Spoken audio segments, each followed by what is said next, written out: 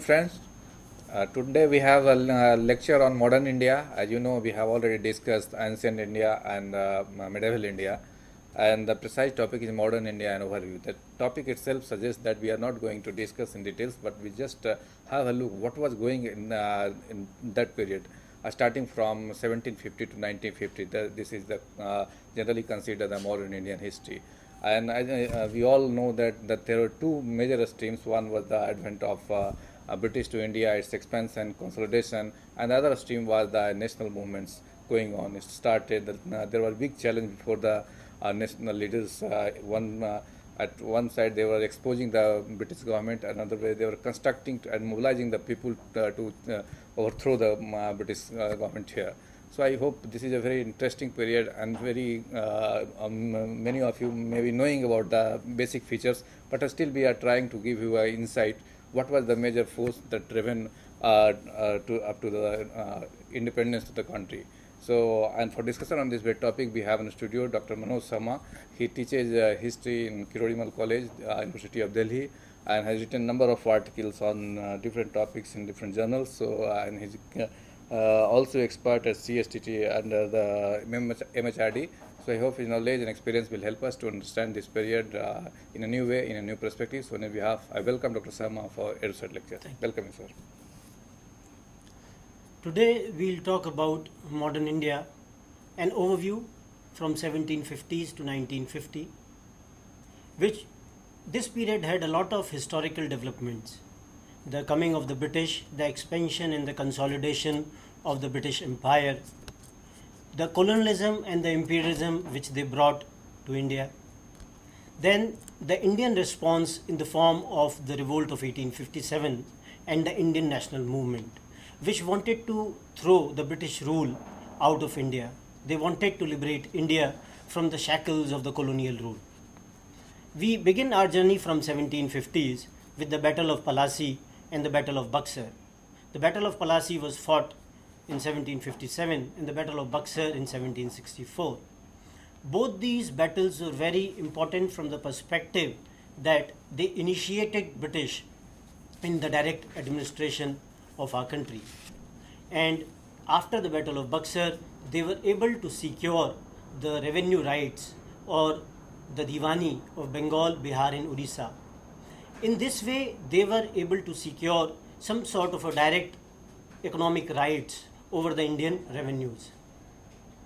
When British they came to India, they came as traders. And when they came as traders, they took a lot of finished products from India and then they sold them in England.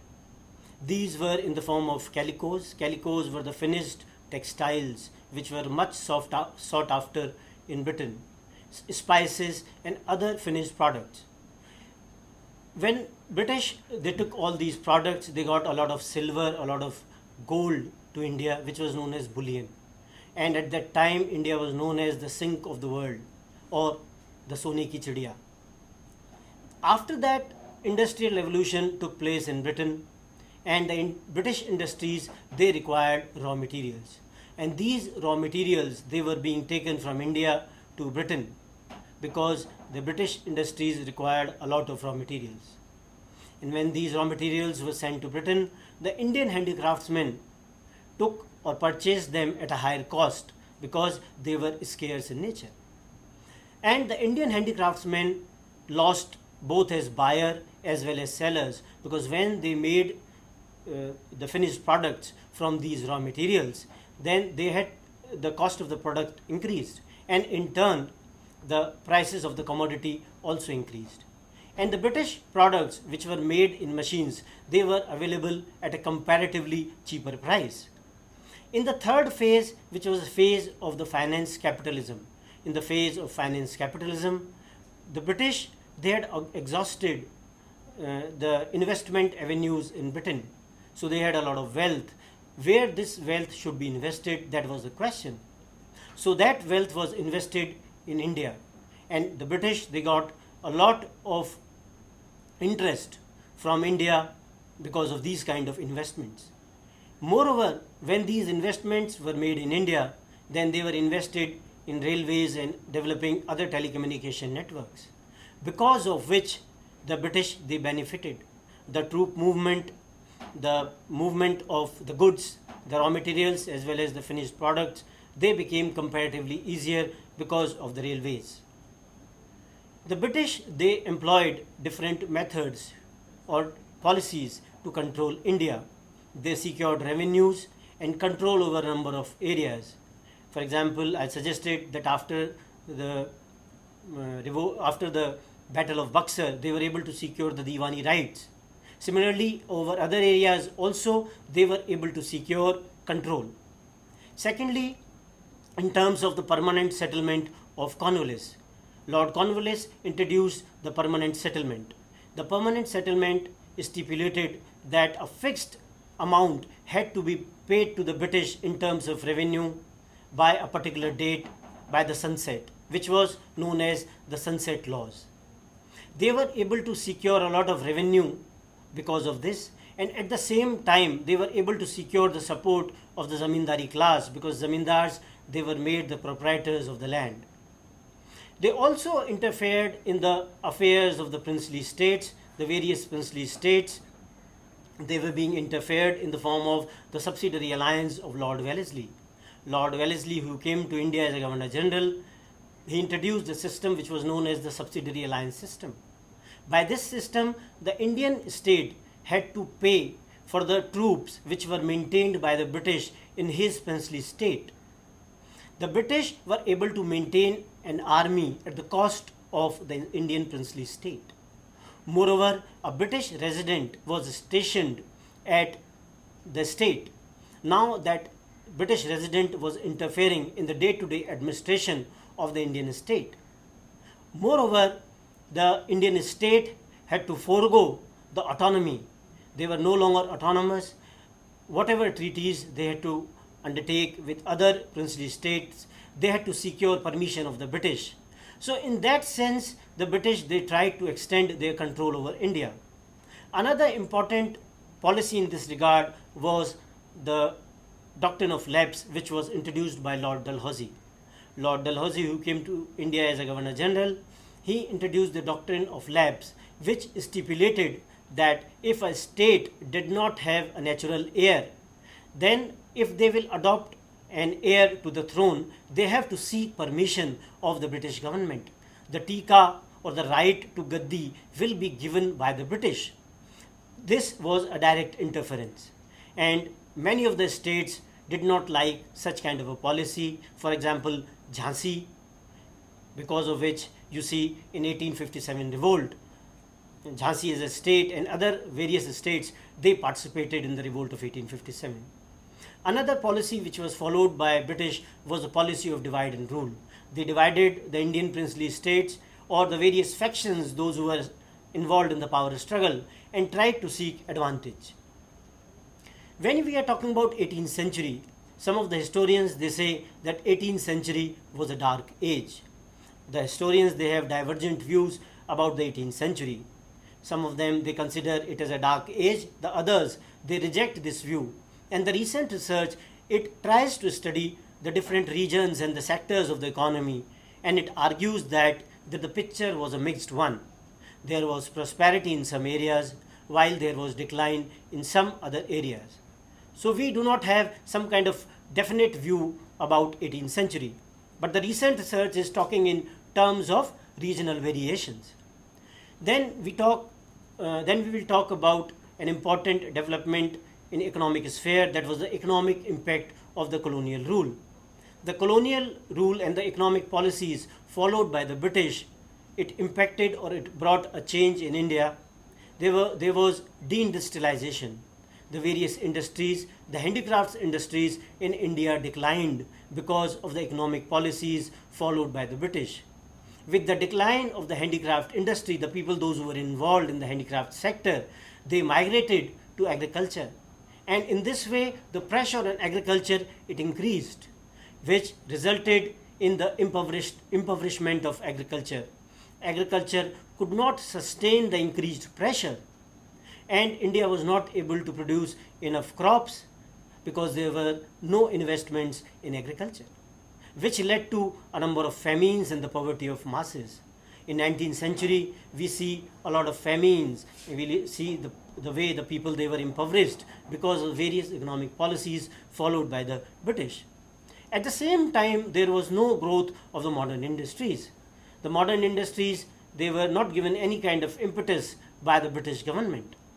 Moreover we also see the commercial forest policy which was followed by the british. We see a lot of deforestation because of that a large number of trees in the forest areas they were being cut by the british because they required wood for the construction of railways for the construction of ships for the construction of furnitures. And for all that they destroyed the indian forest areas. Another important feature of modern indian history is the socio-religious reform movements. The socio-religious reform movements in the 19th century they were considered to be both socio as well as religious. Because there was interconnection between the religious beliefs as well as the social practices. And the religious reformation was a necessary prerequisite for social change. The reform movements they were centered around caste system. Caste system in the sense that there was no intermarriage and no interdining. People used people did not intermarry between castes and they avoided to eat together. These were some sort of a taboos in the society. The other issue was the issue of the women. The position of the women was important consideration during that time. The custom of sati, for which Raja Ram Mohan Roy, who is considered to be the father of Indian Renaissance or the father of Indian awakening, he fought against sati, and some uh, sati was banned also because of the efforts of Raja Roy. Another issue was when the young girls they were being married at a very young age and they became widows. So child marriage they led to the question of the widows. So now these widows they had to be remarried.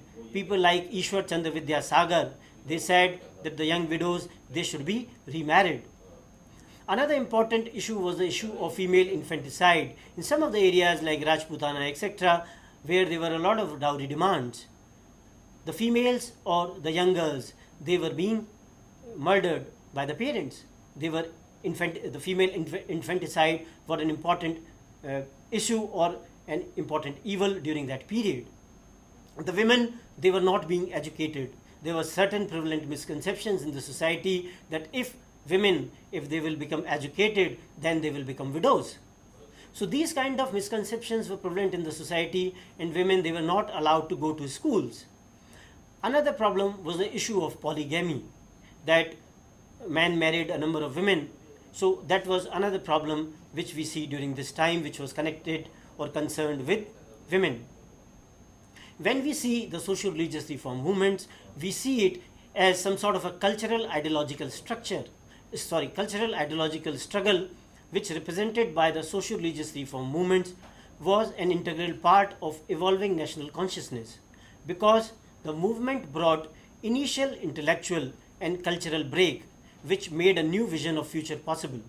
Moreover, it was part of resistance against colonial cultural and ideological hegemony. Then we come to the revolt of 1857. The revolt of 1857 was the first armed struggle which was waged at such a huge scale. There were a number of causes for the revolt of 1857. The most immediate issue for the revolt was considered to be the issue of greased cartridges. The greased cartridges issue, in which it was uh, the new Enfield rifle, which was introduced by the British, the bullet or the cartridge had to be bitten off by mouth, and it was it was rumored or it was circulated that the bullet contained the pig fat or the cow fat, which was not acceptable to both the Hindus as well as the Muslims. The bad treatment which was given to the soldiers during this time, they were not considered to be uh, they were not considered to be in a way equal to the English. So that way they were racially maltreated. They were not also given bhatta when they traveled to foreign locations. So the military causes were some of the important reasons for the revolt of 1857. From the political perspective, the doctrine of lapse introduced by Lord Dalhousie, as we have already discussed, which did not allow the Indian uh, princely states to adopt an heir, which also caused a lot of concern to the various princely states. In the economic sense, when we see that how the triumvirate of Sarkar, Sahukar, and Zamindar, it exploited the Indian farmers, Indian agriculturalists, and the different sections of the society. The different sections of the society were not at all happy because of the policies, the economic policies followed by the British. When we go into the social causes, the kind of interference of the British in the social practices like sati, child marriage, widow remarriage, which was not liked by some of the orthodox sections of the society, and they rejected the British interference in all these matters. Then we can also discuss the nature of the revolt of 1857. This is a very debatable topic, and a number of historians and scholars have argued in one or the other view. Some of the imperialist historians they have suggested that it was just a sepoy mutiny, it was not a revolt, and they said that uh, some soldiers from the British army they revolted for certain grievances. So it was just a mutiny. While the others they consider it as the first war of independence. The nationalist historians like Savarkar they consider that Swaraj and Swadharma they were the basic ingredients which filled the Indian people at that time and they wanted to liberate India from the shackles of the British rule. And it was the first war of independence and they wanted to liberate India from the British rule. Some consider it as a civil rebellion because large sections of the people they participated in the revolt and that is why their view is that that it was a civil rebellion and not only a military one. Some of the historians and scholars they have considered it as a religious war. They say that it was a religious war because it was started for a religious cause. A religious, the immediate cause was a religious one. While there are others who just consider it as some sort of a conspiracy. So, in this way, there are various views with regard to the 1857 revolt. Whatever may be the nature of the revolt of 1857, but we can be sure of one thing that it provided some sort of an inspiration to the, to the later struggle of the Indians against the British rule. They got some sort of a will to defy the mighty colonial empire. The next phase after the revolt of 1857 is the phase of the Indian National Congress, which begins in 1885. The initial phase of the Indian National Congress is the moderate phase, which is from 1885 to 1907. The moderates believed in the policy of petition, prayer, and protest. They had innate faith in the British sense of justice. They were liberal, liberal in their approach. And the kind of demands which they put forward, for example, the separation of the executive from the judiciary, the Indianization of the civil services, the condition of the indentured labor which was in foreign countries, trial by a jury, all they were all progressive in nature. They also put forward an economic critique. The economic critique which was put forward by them was the drain of wealth theory. The drain of wealth theory put forward by Dadabhai Naoroji in 1867 it evaluated that around 8 million pounds they were drained out of the Indian the revenue kind of revenue or the kind of amount which was drained was amounted to 8 million pounds in 1867. So these were the things which were affecting India. Then we come to another important phase which was the phase of the Swadeshi movement. The Swadeshi movement began in 1905 with the partition of Bengal. There was an issue that whether partition of Bengal took place as some sort of administrative convenience or it was blow to the national movement. Because in Bengal the national movement was rising and British they saw that eastern and the western Bengal if they will be divided then they will be able to weaken the national movement. And that is why on the ground of administrative convenience Bengal was divided in 1905. Risley, who was the Home Secretary, he claimed that that India will wither away because Bengal united was power, and if Bengal will be divided, then the power, the power of the united struggle, it will wither away. Then, with the partition of Bengal, two important uh, features of this movement was Swadeshi and boycott. Swadeshi means to emphasize on the Swadeshi goods. The Swadeshi goods which were manufactured in India, they were to be used by the Indians and they had to boycott whatever was British or foreign, be it schools, be it colleges, be it law courts, and the bonfires of the foreign goods, they were being bonfires in different parts of the country, be it in terms of cloth or British sugar or British liquor. They were there in different parts during that time. A lot of emphasis was also placed on Atma Shakti. Atma Shakti means self reliance. The idea was propounded by Rabindranath Tagore that we should be able to sustain ourselves, we should be self reliant, we should not depend on British. The Rakhi Bandhan ceremony, in which people they tied Rakhis on each other's hands to show the brotherhood, was also undertaken. National education was emphasized. Bengal National College, Bengal Technical Institute, they were being opened In various national leaders, they went to these institutes and they, were, they gave lectures in these institutes. After the phase of the moderates, the phase of the extremists, in which Lala Lajpat Rai, Bal Gangadhar Tilak, and Bipin Chandra Pal, who were the three dominant leaders of the extremist groups, they were there. The extremists, they were critical of the mendicancy of the moderates. They did not believe in the petitions, in the prayers, and the protests. And they believed that India had to gain freedom through other means. They have to come out of the constitutional means to gain their freedom. Bal Gangadhar Tilak said, Swaraj is my birthright and I shall have it. But the problem with the moderate politics was that, that they excessively glorified the ancient heritage and at the same time they defied the Indian nation. The defecation of the Indian nation takes place in their politics, because of which a large section of the Muslims they were alienated because they could not identify with the movement at that time. Another phase which we see during this time was the phase of the revolutionaries. The revolutionaries they believed in individual heroism there are a number of revolutionaries who took part in the national movement in the, sen- in the sense that they go- attacked the government officials, they attacked the government treasuries, they looted the government treasuries to sustain their movement. They were not at all satisfied with the British government and they were dis- disillusioned with the policies followed by the government.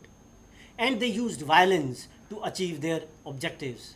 In the later phase, we see revolutionaries like Bhagat Singh, Chandrasekhar Azad, Rajguru, Ashfaqullah, who sacrificed themselves for the country. Then we see the phase of Mahatma Gandhi, who came to India in 1915, but who came into active politics in 1917. Before coming to discuss the politics followed by Mahatma Gandhi, let us discuss some of the ideological uh, uh, beliefs he had the first was Satya and Ahimsa. Gandhi believed in Satya and Ahimsa, for which he fought all through his life. Gandhi claimed that he only wanted Satya and Ahimsa and he did not claim any role in the superhuman powers. At the same time, Gandhi also believed in means and end. By means and end, he wanted to say that we should not get our ends by any kind of unjustified means. Our ends and our means both should be justified. We should not go, we should not attain our ends by taking resort to the unjustified means. At the same time, Gandhi believed in belief, belief and practice. Whatever he believed, he tried to put that into practice as well. The kind of methods which he employed in Indian politics were satyagraha, satyagraha, and the method of fast as well. Gandhi resorted to these techniques in different phases when, his, when he participated in the freedom struggle. The initial movements of Gandhi were the Champaran Satyagraha, which was against the Teen Kathiya system on indigo cultivation. Champaran Satyagraha was started in 1917. And the British plant- planters they forced the Indian peasants to grow uh, to grow indigo on around 15% of their land and Gandhi went there and fought for the agriculturalists and was able to secure some sort of a compromise by which this system was abolished. In the Ahmedabad mill strike, Gandhi also went in favor of the laborers and because of which a 13% increase in their wages was sought. Gandhi also participated in the Kheda, Kheda Satyagraha, in which no revenue campaign against government was launched. These were the initial movements of Gandhi in which Gandhi was, was successful and because of which he was able to generate some sort of a mass following in the later times. One of the most important all India struggle of Gandhi was the fight against the Rowlatt Act. The Rowlatt Act, which came to India in 1919, talked about no appeal, no vakil, and no dalil. The people they were not allowed to appeal to the courts. They could not employ any vakil to listen to them, and they could not put forward any dalil. So, which was some sort of an emergency measure, and which was used in a very civil kind of atmosphere because of which a large number of hartals and demonstrations were launched during this time. In one of the hartals during this time, which was held at Jallianwala Ba- Jallianwala Bagh, around 379 people they were being killed. It was a peaceful, peaceful assembly on which British they attacked, and so many people they were being killed by the British, and a large number of people they rose in uh, various kind of protests during this time then the khilafat movement it was launched in 1920 the british they dismembered the turkish empire and some sort of a disrespect was shown to the caliph. And the muslims all across the world they consider caliph to be their king. So that way ali brothers and gandhi they launched the khilafat movement. The Khilafat movement later merged into the non cooperation movement. The non cooperation movement was launched in 1920 as well, and the non cooperation movement wanted that Indians should not cooperate with the British in any way. They should reject whatever was British, they should not take part in the, uh, the British schools, they should not go to the British schools, they should not take part in the British law courts. These kind of measures they should be undertaken. Bonfires of foreign cloth they were also undertaken during this movement. But at Chauri Chaura in 1922, a violent, ex- a violent act und- was, took place.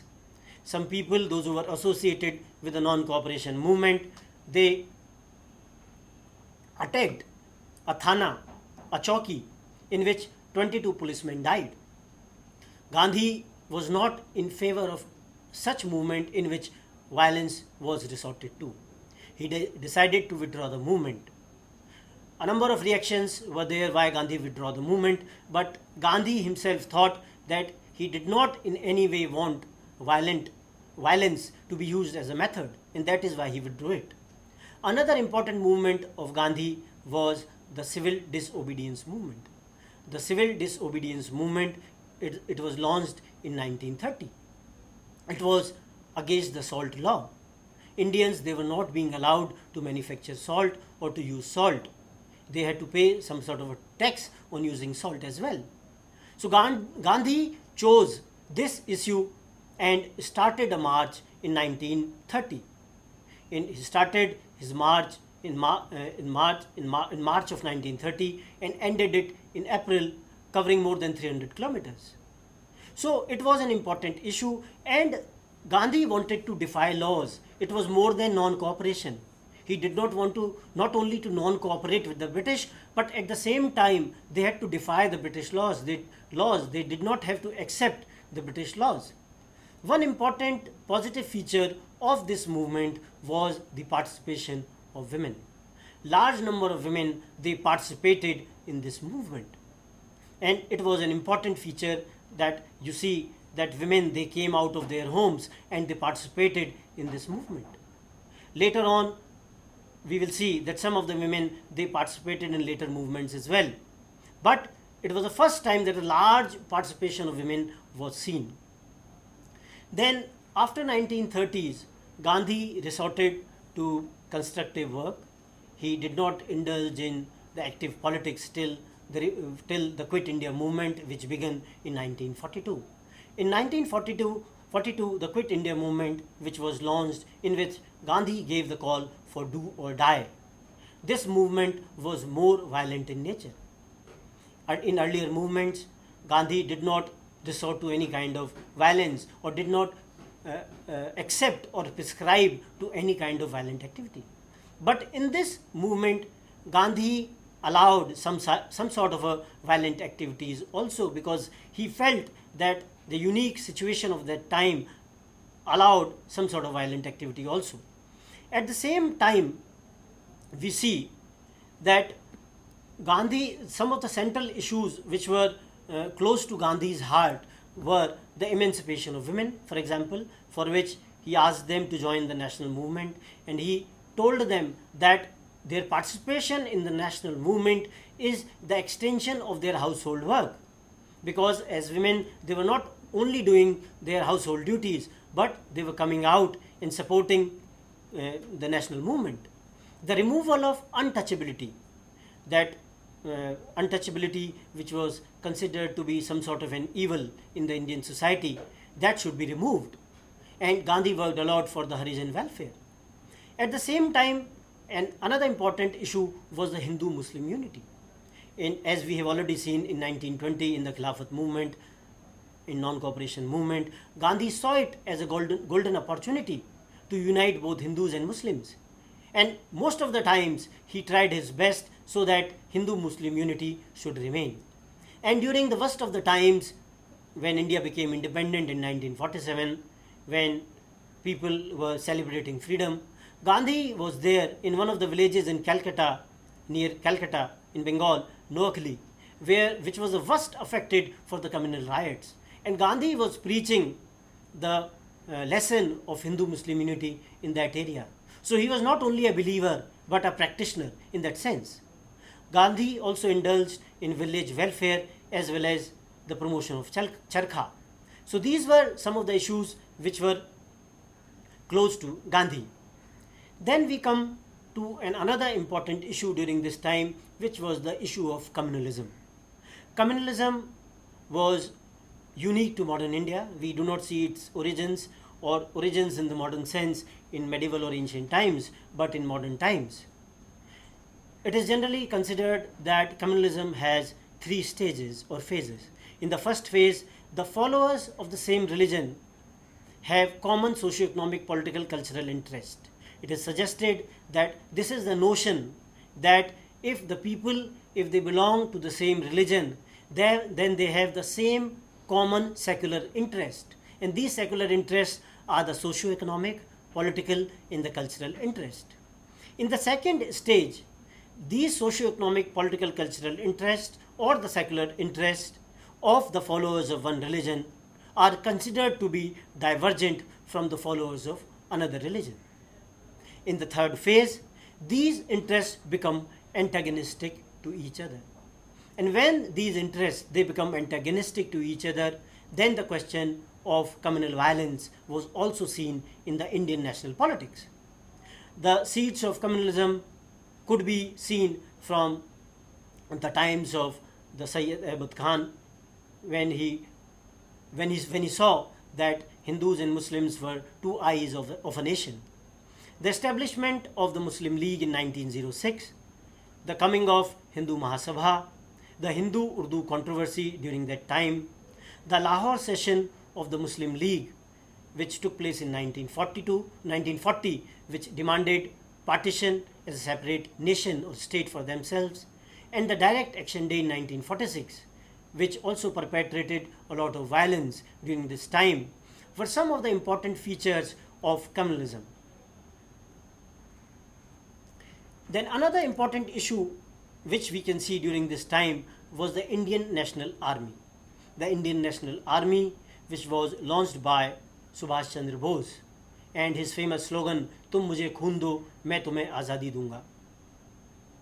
And INA was able to inspire the masses because during the during that time, the, when the Second World War was going on, and Subhash he went to Germany, then he went to different countries and sought support of Germany as well against the British, and he did not want to support British during that time.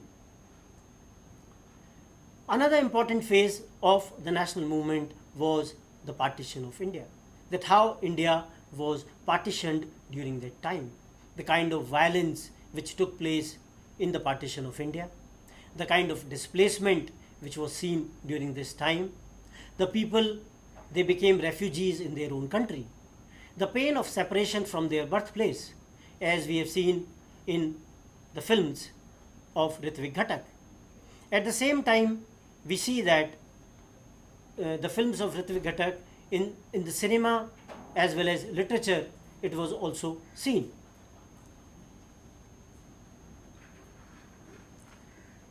The partition violence was also seen in a large number of films. The large number of films which we see, for example, Lahore, which was made in 1949, which was film which was talking about the displacement. At the same time, other things were also happening in the film world. The films which were made like The Earth, which was, which was made in 1997, Garm Hawa, which was made in 1973, the literature of Saadat Hasan Manto and Ismat Chughtai. The literature and cinema, they were able to portray the picture of partition that how people, those who were uprooted from their motherland, and how they became refugees in their own country. The, the pain, the trauma of that partition is seen in many memoirs. The memoirs of Begum Anis Kidwai, in which she talks about uh, the camps, the Purana Kila camp, which was there in Delhi, the people, those who migrated to Delhi from uh, Lahore, and the people, those who migrated from Delhi to Lahore. So in that way, the people, those who became refugees in their own countries, that kind of pain was reflected in cinema as well as literature of those times. When we talk about partition, we try to see it in terms of the two nation theory that India and Pakistan, they were two nations who was responsible for the partition of India, whether it was Congress, whether it was Muslim League, whether it was the politics of Jinnah, whether it was the politics of the Congress leaders. So the question of the blame should not be seen. Rather, we have to see that how the people, those who were directly affected, they had to, uh, they had to feel this pain of being called a, a refugee in their own home country. Then we come to, after the partition of India, we come to another important constitutional development that was the Constitution of India. The Constitution of India, the preamble says that India is a secular, socialist, democratic republic. So all these ideals or the principles which are given in our constitution, they this try to suggest that India is a country which is fighting for such kind of ideals in the national movement as well.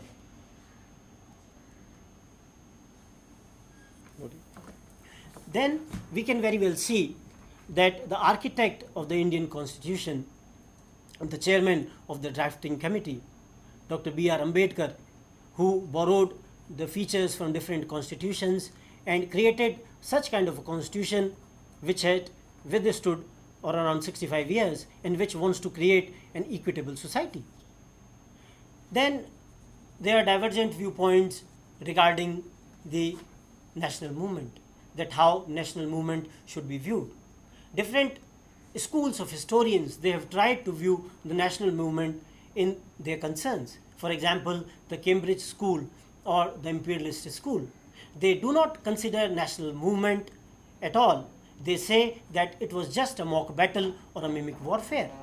It was not a national movement at all. They are not ready to accept colonialism as some sort of a structure in India. They just see it as a colonial rule. That national movement which was based on the colonial ideology, which was based on the colonial structures, is rejected by the imperialist school.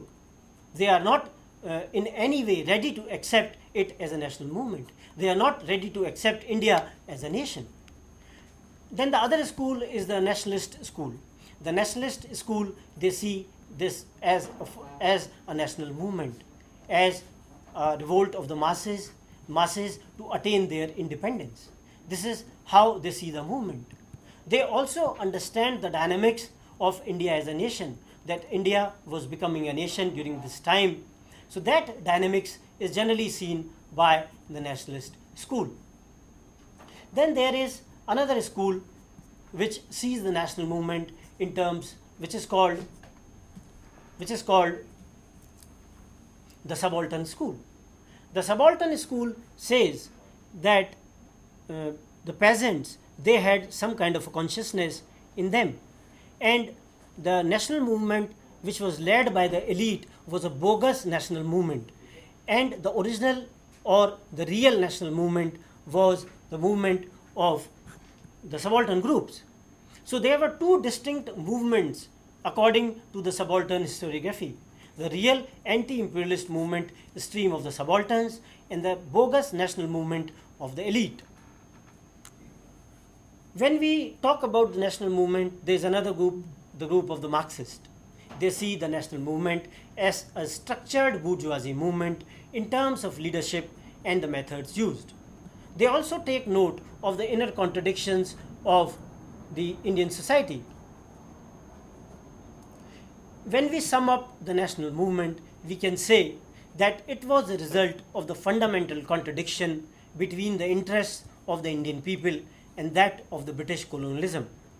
The national leaders they evolved a clear-cut anti-colonial ideology on which they based the national movement. They played a pivotal role by which Indian people got formed into a nation. The objectives and function of the movement was to promote growing unity of the Indian people through a common struggle against colonialism. So these were the kind of objectives and the ideals and the func- functions on which the national movement was based. Another important 20th century development on which I would like to talk is the emergence of cinema. Cinema uh, began, its, began its journey in 1895. It came to India in 1895 itself in December when some of the topicals or newsreels or short films they were being exhibited. And the feature film production also started. And the first feature film which was made in India was Raja Harishchandra in 1913, which was made by Phalke. In the initial phase, you see a lot of mythological films because most of the initial films they were silent in nature. They had no dialogues. There were no techniques or methods by which dialogues could be incorporated in films. So these films were mythological in nature. For example, Raja Harishchandra, uh, Bhasmasur Mohini, Shri Krishna. So all these films were taken from Ramayana, Mahabharata, the tales which were the stories which were known to the Indians, so th- so that they were able to accept them, and they were to understand also because of the absence of dialogues. At the same time, these mythologicals they gave a message also. For example, uh, uh, when a film called Raja Harishchandra was shown, and Raja Harishchandra was adamant on satya or truth, then that could be equated with the national movement led by Gandhi when Gandhi was also talking about truth and ahimsa. Then many of the films were the socials. The socials, the films like Duniya Na Mane, which was made in 1937 by V. Shantaram, a film called Achut, which was made in 1936, a film called Admi, which was made in 1939. So all these films, a film called uh, Padosi, which was also made in 1939, all these films they talked about Hindu-Muslim unity, caste system, mismatched marriages, which were prevalent in the Indian society. Another category was the category of the stunt film. The stunt Uh, films. Sorry to interrupt you. We have a caller from Delhi, so let us take first question. Uh, welcome, friend. Please ask your question. Hello. Yeah, please ask your question. Yes, uh, sir. I want to ask uh, how national movement was reflected in the Indian cinema, particularly in Hindi cinema. how the uh, national movement was reflected in Indian cinema. Thank you. I was coming to this argument only. I began with mythologicals and socials. And when we are talking about national movement, we are talking about Gandhi. We are talking issues which were relevant to the national movement. For example, Hindu Muslim unity, issue of caste, issue of the various evils related to women during that time. So the films also wanted to portray these kind of things. For example, films like Duniya Na Mane, which talked about mismatched marriages. A film called Padosi, which was dealing with Hindu Muslim unity. A film called Achut in 1940, Achut Kanya in 1936, which were dealing with the caste issues and issues of untouchability, which were there in the national movement as well. Then the stunt films which were made by JBH Wadia, and in many of the films you see Nadia, the Nadia Hunter Wali. So the themes were chosen in such a manner that they were patriotic in nature and they advocated democracy the ideas of democracy, the ideas of patriotism were also there in the national movement. So these ideas were also preached in films, but they could not do them in a very explicit manner. So they had to weave stories in such a manner that these ideas could reach the masses. Even in some of the popular masala films, there was a film called Kismat which was made in 1943. There's a song in that, Aaj Himale ki choti se fir humne lalkara hai, दूर हटो है, दुनिया वालों, हिंदुस्तान हमारा है। So you do not see any kind of patriotic theme in the film itself it was the only song which was there in the film and the lyric of the song goes तुम ना किसी के आगे झुकना, German हो या जापानी. So German and Japanese they were trying to attack India in that sense and they were considered to be threat to India but the reference was to the British so the British the Indians, they were trying to hoodwink the British authorities. And I will try to mm, just narrate an incident. There, there was an inspector who was sent to see this film time and again and see because this song was relayed time and again. The people they were demanding that in 1943 that that this song song should be relayed again and again. So the inspector said the import or the import of the song is to the Germans and the Japanese and nothing to do with the British. Then we come to the realist films. Some of the realist films during this time were the Neecha Nagar and Dharti Ke Lal. They were both of them. They were made in 1946. Dharti Ke Lal talked about the famine in 1943, which took place in Bengal, and this famine was a man-made famine. It was not a famine which occurred because of the natural reasons, because of the black marketing and the kind of policies followed by the British, this famine took place. So it was a reflection of that. Though in this way, how cinema was related to the contemporary issues or trying to project the contemporary issues in that manner was also seen in the films. In terms of impact, when we see, we see that women they went to theaters to see mythological films. Earlier, they were not being allowed to go to theaters, but when the mythological films they were they came, then the elders of the family they allowed women to go and see the mythologicals. And in these films in between the films or before the film some of the newsreels of the national leaders they were being shown. So the ideas of the national movement they were also the women also took them when they went back to their homes. And another important aspect is cinema as a new audio visual source of writing history. That's because new and new sources of history writing they are being incorporated.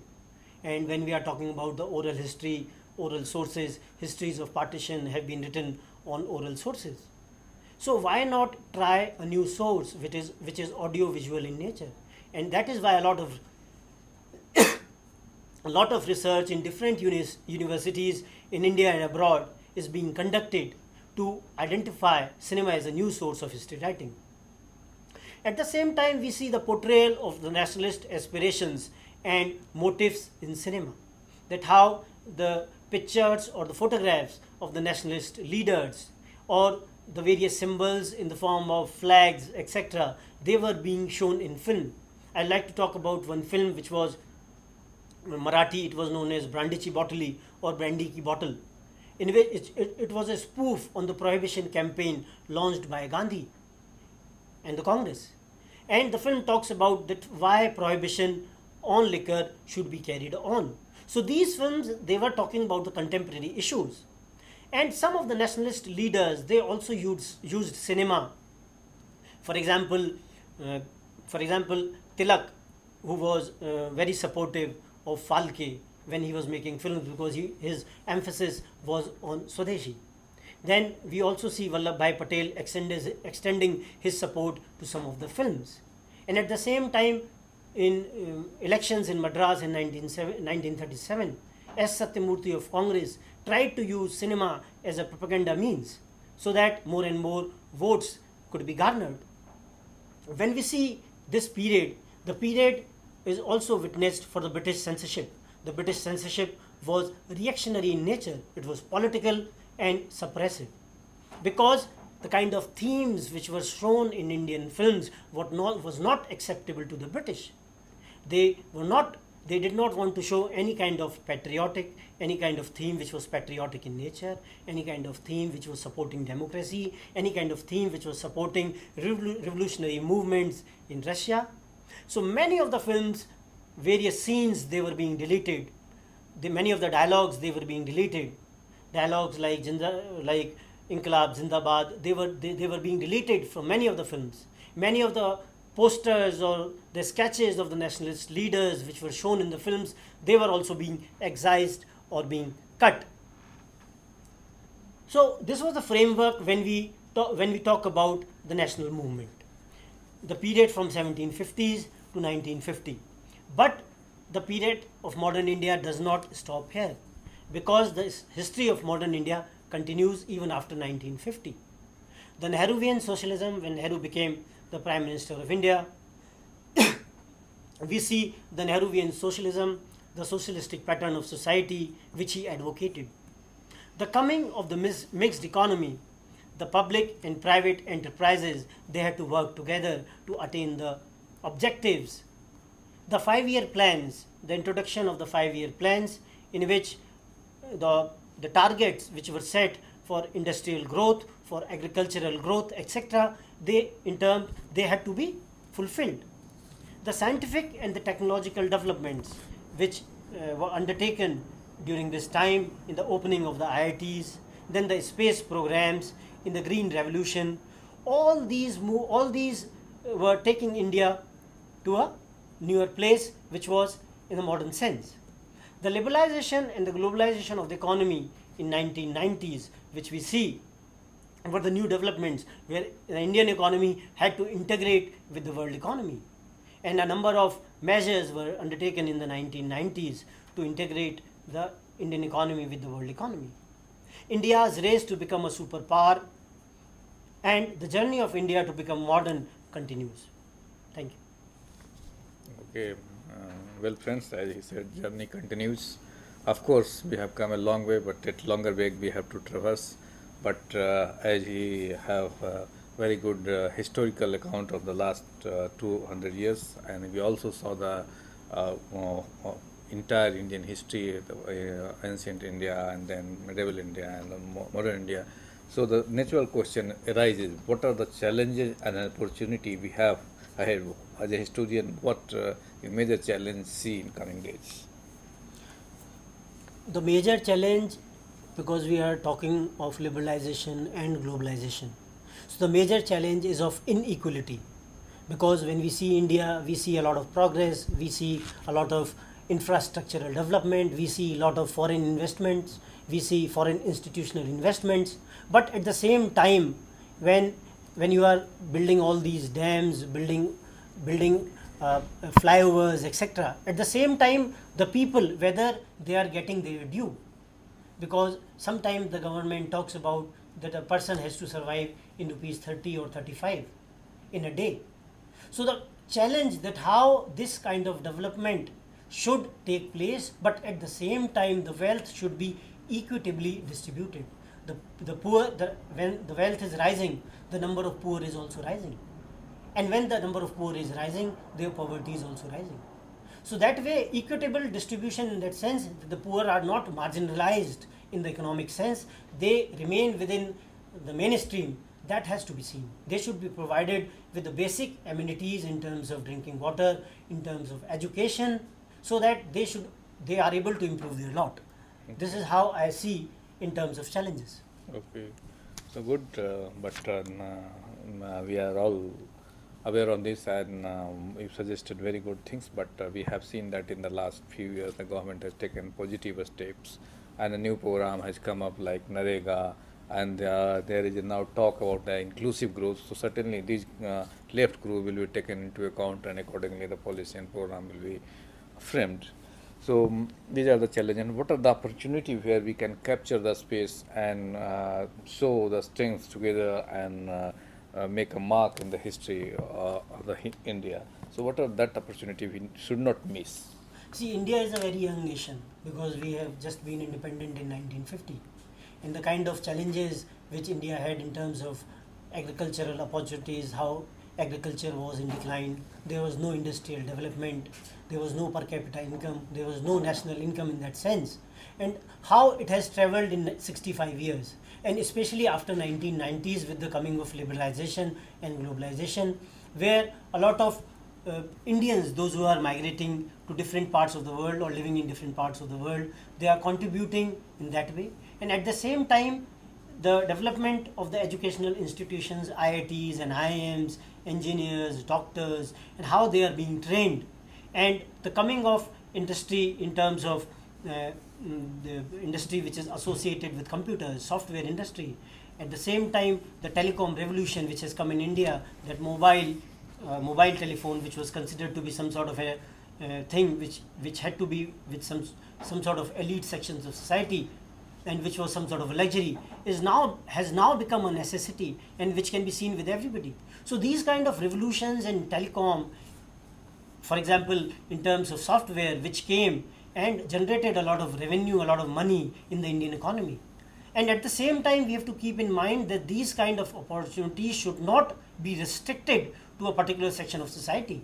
Rather, all sections of society should be able to benefit from such kind of opportunities. Then only we can go for an all-inclusive growth, as you have suggested. Okay. So well, friends, as um, the old wisdom says that "Sarve bhavantu sukhina," sarve, that is the major force. The guiding force should be only then we can say that you know we are moving in the right direction because taking humanitarian ground we can't uh, do justice with uh, the uh, nation as a whole because the whether uh, rich people or poor people they all are a part of the same country so well dr Ma- manoj sharma suggested very good things and we need to take care of all this so with this we'd like to conclude the lecture and as uh, in the beginning it was very difficult to uh, make it that uh, entire about 25 years of the period to make in three lecture not possible but uh, all the resource persons have tried their best and uh, given uh, overview. So i am happy that you people will come to know about the general events what has what has occurred over the years and will certainly help you to put the other events into the right place and will uh, help you to uh, make your own interpretation. So this, is why we conclude the lecture. I thank all of you and on your behalf I thank all uh, expert, uh, experts who have delivered their best. So with this we conclude the lecture. Thank all, all of you again. Thank you very much. Thank you.